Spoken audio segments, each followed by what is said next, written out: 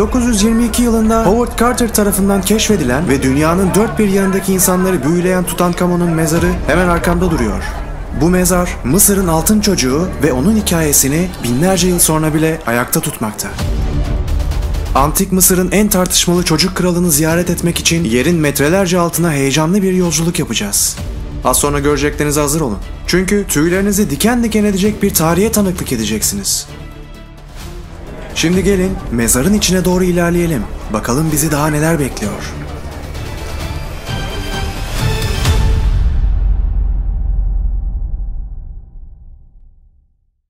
Kısa bir bilgilendirme. Yeni kitabım İstila 2030'u imzalamak, sizlerle tanışmak için Ankara ve Bursa'ya geliyorum. 24, 25 ve 26 Kasım'ı iple çekmeye başladım bile. Birlikte anı fotoğrafımız olsun diyorsanız sizleri bekliyor olacağım. Diğer şehirler belli olunca hemen paylaşırım. Şimdi videoya devam.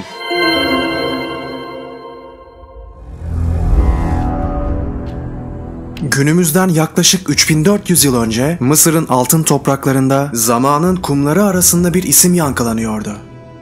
Tutankamon. 9 yaşında kral olan bir firavunun hikayesi bu. Babasının hayatını kaybetmesiyle çocuk yaşta Mısır'ın başına geçen Tutankamon öyle bir değişikliğe imza attı ki bu durumun bir ucu da Hz. Yusuf peygambere dayanıyor. Tutankamon'un babası Antik Mısır'ın en tartışmalı firavunu Akhenaton'du. Tüm firavunların kendilerini tanrı ilan ettiği bir yerde halkı tarafından kendisine de tanrı gözüyle bakılan Akhenaton çıktı ve dedi ki ne ben ne de bugüne kadar gelmiş geçmiş hiçbir firavun tanrı değildir. Bizler de tıpkı sizler gibi sıradan insanlarız. Bizleri ve kainatı yaratan tek bir tanrı vardır dedi ve firavunların kendilerini tanrı olarak göstermesi geleneğine son vererek nerede bir tapınak varsa onları kapattırdı.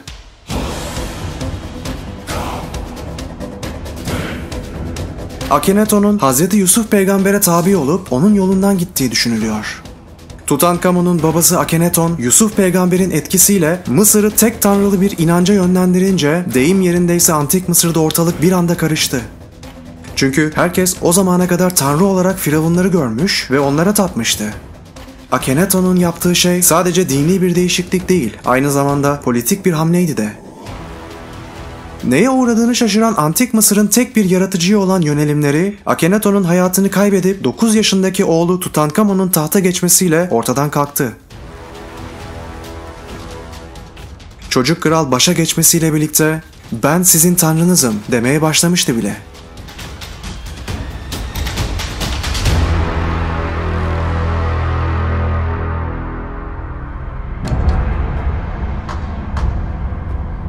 Genç yaşına rağmen o dönemde Mısır üzerinde derin izler bıraktı. Hükümdarlığı boyunca dini ve politik reformlar yaparak eski Mısır inanç sistemine geri dönüş yaptırdı. Ancak Tutankamon'un yönetimi kısa sürecekti çünkü ergenlik çağına henüz yeni girmişti ki beklenmedik bir şekilde hayatını kaybetti. Onun ölümü günümüzde bile gizemini korumaya devam ediyor. 9 yaşında tahta çıkıp 18 yaşında hayatını kaybeden Antik Mısır'ın en çok konuşulan firavununun lanetli mezarına az sonra gireceğim. Hatta bir camın içerisinde mezarında sergilenen kendisini yakından da göreceksiniz. Ama öncesinde onun mezarının keşfediliş hikayesini dinlemenizi istiyorum. Çünkü mezarının açılmasından sonra ona her kim yaklaştıysa başına olmadık işler gelmiş olması Tutankamon'un mezarının lanetli olduğu söylentilerine yol açmış durumda.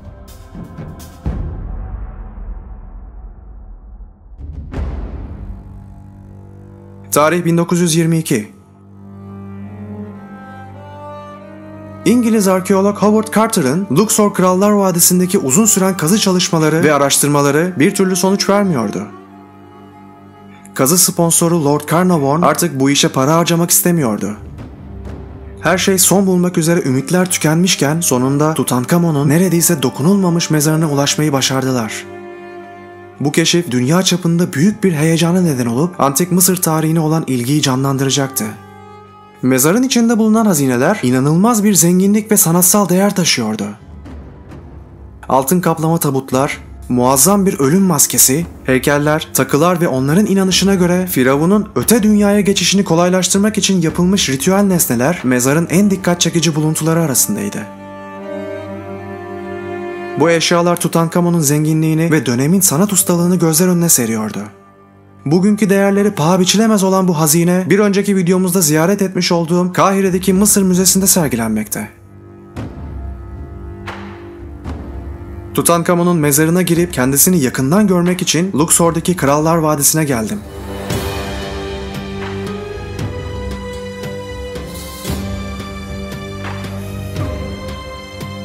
Bence burası Mısır'daki en etkileyici yerlerin başında geliyor. Nil Nehri'nin batı kıyısında bulunan bir vadiye, antik Mısır'ın kralları için hazırlanmış bu dev mezarlığın bir minyatür versiyonu karşılıyor bizi alana girdiğimizde. 60'ın üzerinde keşfedilen bu büyüleyici mezarların vadideki dağılımlarını gösteren bu minyatürde her bir mezara ulaşmak için açılmış olan tünelleri görmek gerçekten etkileyici. Ramses'ten Tutankamun'a, Seti'den Tutmos'a, Amenhotep'ten Yuya'ya kadar tüm mezarların içine girip tarihe tanıklık edebiliyorsunuz. Her biri inanışlarına göre ölümden sonra bedenleri rahatsız edilmesin diye yerin derinliklerine gizli saklı köşelere gömülmüş bu kişilerin günümüzde mezarlarının yanı sıra bedenlerinin bile sergileniyor olması adeta ibretlik bir durum. Mezarların duvarlarında yer alan kabartmalar ve resimler dönemin inançlarını, mitolojisini ve günlük yaşamını gözler önüne seriyor. Renklerin canlılığı ve detayların ince işçiliği binlerce yıl sonra bile izleyenleri hayran bırakmakta. Mezarların derinliklerine inerken firavunların ve onların dünyasının sırlarına yaklaşmış gibi hissediyorsunuz. Bu sakin ve soğuk mezar odaları dış dünyanın gürültüsünden uzak, tarihin sessiz tanıkları gibi adeta. Fakat bu mezarlardan bir tanesi videomuzun konusu olan Tutankamon'un mezarı diğerlerinden farklı özellikleriyle ön plana çıkıyor. Tutankamon'un mezarı sadece eşsiz hazineleriyle gündeme gelmedi. Bu mezarın öyle bir özelliği daha var ki dilden dile dolaşan bir lanet bugün bile onu ziyaret edenleri tedirgin etmeye devam ediyor.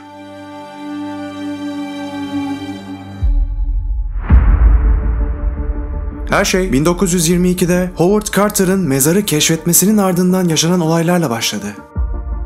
Dünyanın pek çok yerinde bazı mezarlar ve hazineler, özellikle de antik Mısır'dakiler, çeşitli büyüler ve tılsımlarla koruma altına alınmaya çalışılırdı. O büyülerden birinin de paha biçilemez hazineleriyle birlikte gömülmüş olan Tutankamon'un mezarında olduğuna inanılıyor. Ve işte Tutankamon'un gerçek bedeni.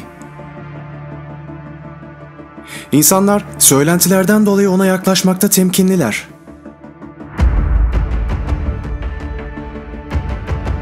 Bu söylentiler özellikle mezarın keşfedilmesinden sonra yaşanan bir takım olaylarla gündeme geldi ve ilginç bir şekilde günümüzde bile hala bunun devam ettiğine inanılıyor. Peki ne olmuştu? Neydi insanları bu mezara karşı temkinli davranmaya iten şey? 1922'de mezarın isminin lanetliye çıkmasının fitilini ateşleyen ilk olay, Tutankamon'un mezarının sponsoru olan Lord Carnarvon'un keşiften kısa bir süre sonra 1923'te bir sivrisineğin ısırması sonucu hayatını kaybetmesi olmuştu. Yaşanan bu olay pek çok spekülasyona yol açmıştır. Carnarvon'un ölümü lanet efsanesinin yayılmasında kilit rol oynamıştı. Fakat tuhaflıklar daha yeni başlıyordu. Mezarın sponsorunun ölümünün hemen ardından aynı yıl mezarı ziyaret etmiş olan milyoner George J. Gold bu ziyaretten sonra zatürreden hayatını kaybetti. Yaşanan bu ikinci olayla birlikte halk arasında Tutankamon'un laneti daha çok dillendirilmeye başlanmıştı. Mezarın lanetli olduğunu düşünmek isteyenler için de sık sık malzeme çıkmaya devam ediyordu.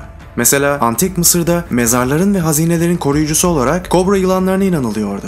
Tutankamon'un mezarını keşfeden Howard Carter'ın çok sevdiği kanaryasını evine giren bir kobra yılanı yemişti. Bu olay da lanet söylentilerini arttırdı. Fakat mezarın tılsımlı oluşuna dair söylentilere bir başka boyut kazandıran daha pek çok olay yaşanacaktı. Onlardan bir diğeri de yine aynı yıl mezarı ziyaret etmiş olan Mısır Prensi Ali Kamel Fahmi, Tutankamon ziyaretinin ardından Londra'da bir otelde eşi tarafından vurularak hayatını kaybetti. Mezarın keşfinin üzerinden 2 yıl geçmişti ki Tutankamon'un röntgen fotoğraflarını çeken Sir Archibald beklenmedik bir şekilde hayatını kaybetti.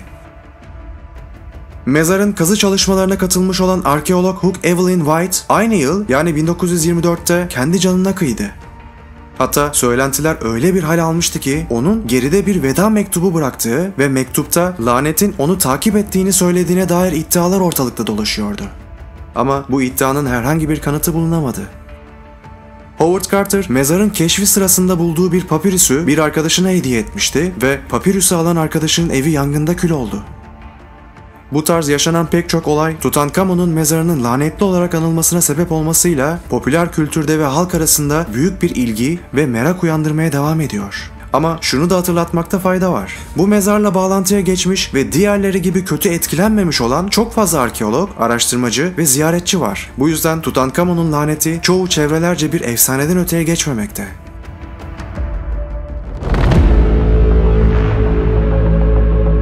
Tutankamon hakkındaki bir diğer gizemli şey ise onun hançeri. Yine popüler kültür ve UFO teorisyenler arasında oldukça konuşulan bu hançeri özel yapan en önemli neden onun demirden üretilmiş olması. Antik Mısır'da demir fazla kullanılan bir maden değildi ve oldukça değerliydi. Yapılan X-ray incelemelerinde Tutankamon'un hançerinin dünyaya düşen bir göktaşından üretildiği keşfedildi. Hançerin uzaylı ürünü olması iddiası, onun demirinin göktaşından elde edilmiş olması gerçeği üzerine kurulu bir iddia. Yine de Tutankamon'un gizemleri arasında yer bulmayı başarmış. Krallar Vadisi'nden şimdilik bu kadar. Mısır'da size göstermek istediğim harika birkaç yer daha kaldı. Mısır maceramızın bu 5. bölümünden ayrılırken geriye dönüp önceki 4 bölümü de izlemenizi öneririm. Tekrar görüşmek üzere.